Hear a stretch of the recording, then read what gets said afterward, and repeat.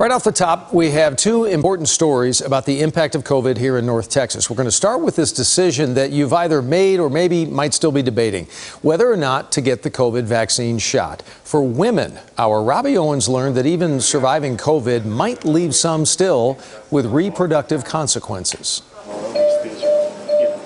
While pushed to the breaking point battling the latest COVID surge, it goes like wildfire on social media. People use it as an excuse, but there's no data to back it up.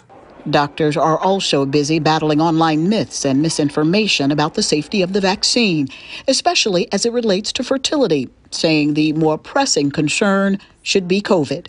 And so the risk is certainly there that if you get too sick from COVID, you may not recover and your body may not be well enough to be um, ready to carry a pregnancy optimally. Doctors say the best insurance for future reproductive health is simply good health, and that includes women and men. We are seeing some some uh, short-term um, information coming out of our reproductive endocrinologists, which are the OBGYNs that specialize in infertility, that in males at least, that there is some uh, issue with sperm quality for, for months after having COVID, um, and also some issue with the uh, female side too. Meanwhile, those warnings also come with reassurances for women who say their menstrual cycles are different post COVID.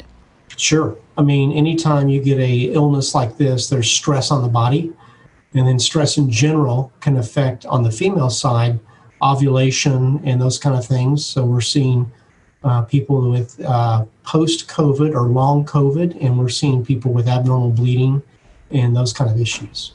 So, pre pregnancy, post pregnancy, just surviving this pandemic, the best medicine experts say is still prevention. Yes, absolutely. There is no comparison. There is no comparison. The vaccine is potentially life saving. In Dallas, Robbie Owens, CBS 11 News.